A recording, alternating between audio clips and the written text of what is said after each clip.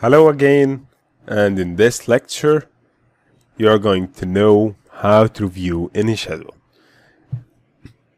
Now we have created the schedule from scratch.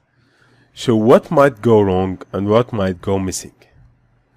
Personally, I believe that the schedule, the two main things that you should always check on any schedule that you are going to submit or that, that or that you are even reviewing a schedule that's submitted to you. What do you think these two are? For me, I think the first thing is to check that the whole scope is covered. How to check so? To check though can be combined by using drawings, which is most probably even the FIDIC contract or even in most probably most of the contracts, the drawings supersede the BOQ if there is differences, then the BOQ.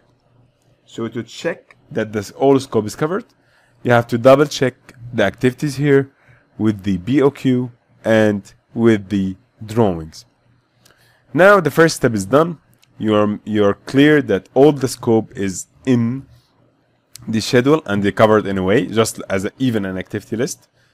The second most important thing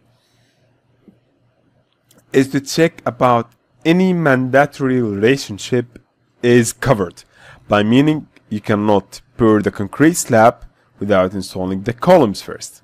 So you should make sure that the mandatory, mandatory relationship is truly covered and it's achievable, especially mandatory. The soft relationship, you should understand why you made it and you should note it down somewhere and say that you, or, and the assumption that you have made or review or ask the contractor or whoever submitted the schedule for you, ask him or her to submit you the assumptions that he or she did while doing the schedule.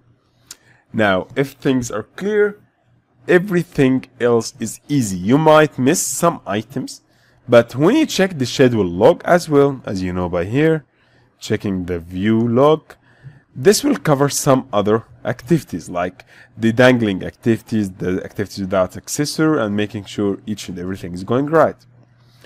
I usually also prefer to check what these are like complementary, but the main two items is to check all scopes covered and mandatory relationship is done.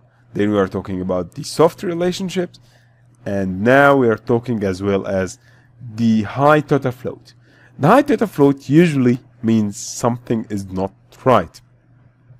You can either shift it or you can keep it or just double check that the relationship are right and everything is going on sequence because this might indicate that the relationship is not going right. Always also make sure that the pre-qualification and the equipment is coming in the right time. It's not going to come and be stored for a long time it might lose its insurance, it might need more care, it might cost even more in the store. Just make sure it comes on the right time and have a float for it. And this lecture, as I said before in the previous lecture, it is a research lecture. Why it's a research lecture? I love to name it like this. I'm going to give you the chance to research. So what to research exactly? while checking the schedule. There's a lot of, and a lot of references. I'll give you only one. It's DCMA14. Just Google it, find any resources, you'll know what to check more as well. But personally, if you covered the relationships and the scope, and it seems reasonable, and one more thing that we almost forgotten here is to check the resource usage profile. Make sure either it's cash flow if you're a contractor that your management approve that there is a negative cash flow for some point the cash in cash out. Cash in is not shown here that the negative cash flow is achievable and your management agree on it that in one given month this and as a client you should always check that at one given month that you're going to get an interim valuation of 109 are you able to pay 109 per month or you don't have the budget for a thing, such way you're going to ask the contractor to distribute this 109 on other activities and give a maximum here. But this might affect and the contractor might claim for extension of time. Always check that you can bring the labor if these are the labor that you're going to bring the assigned labor as shown in the curve. You can bring them. And always make sure that there is no hire and fire and make it as reasonable as, po as possible.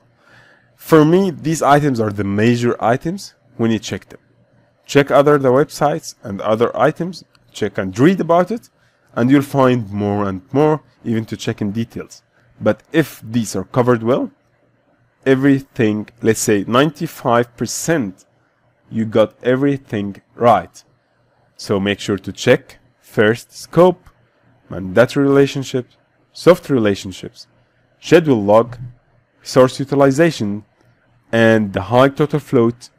Last but not least, is the schedule is not too much constraint by meaning there is no lot of, of constraints on the activities here. And if it is then a reason should be provided and should be noted and commented to all the key stakeholders